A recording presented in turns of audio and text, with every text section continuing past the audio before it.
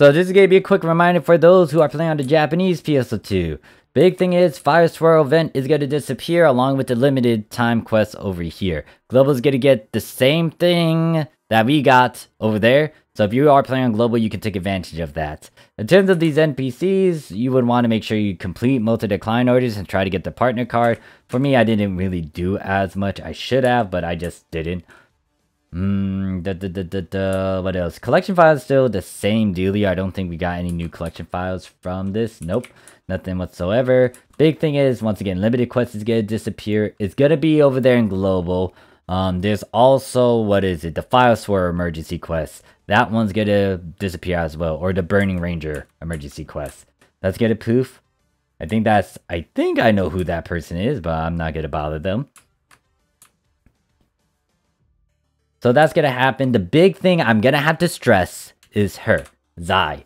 And the Weapon Badge 2021. Actually, I would also have to talk about the web linked stuff as well. So Weapon Badge 2021 Exchange Shop, you can see there is an expiration date.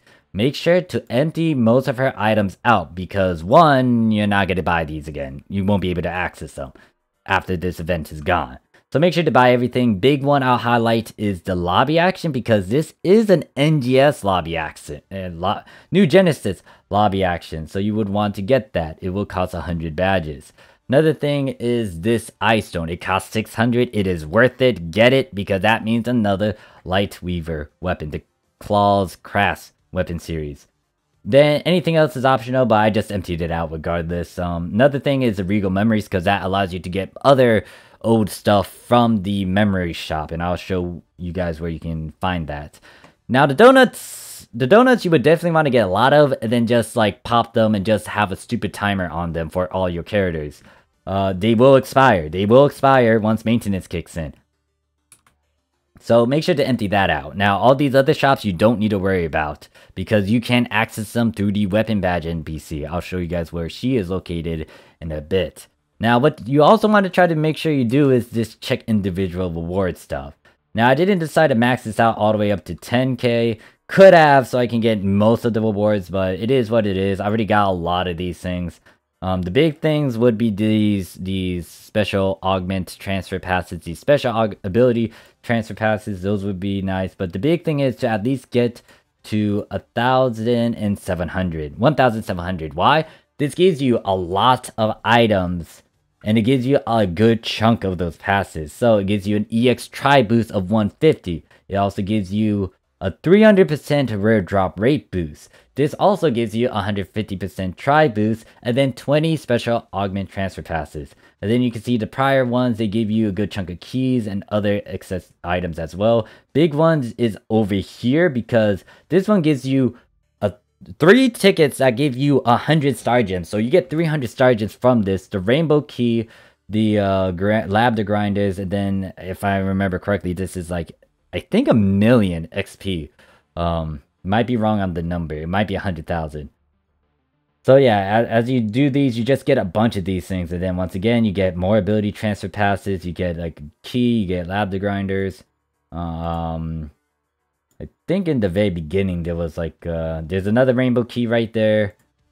There's some badges you can get. I thought there was another reward for sergeants, but pretty much you'll get a lot of stuff. Make sure to kind of get up to that number. And the way to get these points is if you do the limited time quest or you do the urgent quest.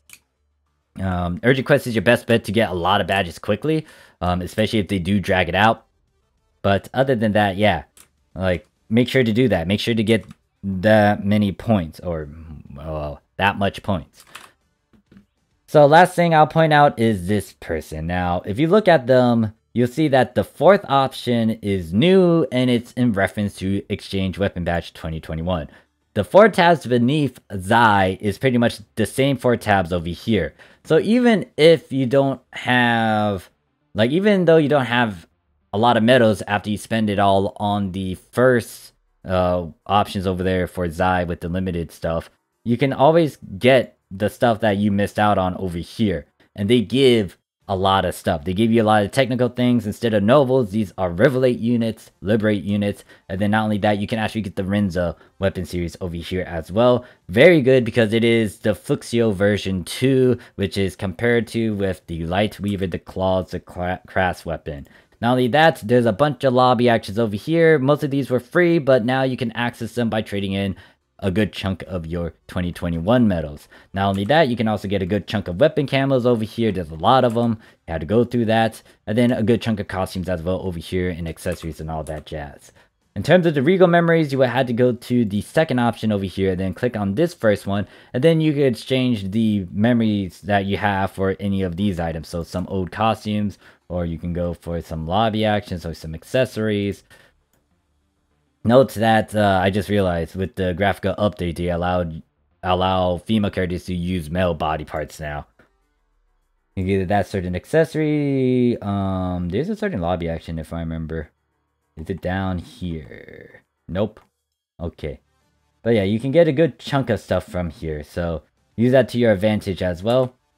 But that is it for this video. Just a reminder to those who are playing on the Japanese PS2 that these things are going to go away. Global's going to get the same stuff in terms of limited time quests and the urgent quests, Burning Rangers, most likely. They'll most likely show it on Arc Hour. If not, then it's going to be somewhere because it did mention it in the list.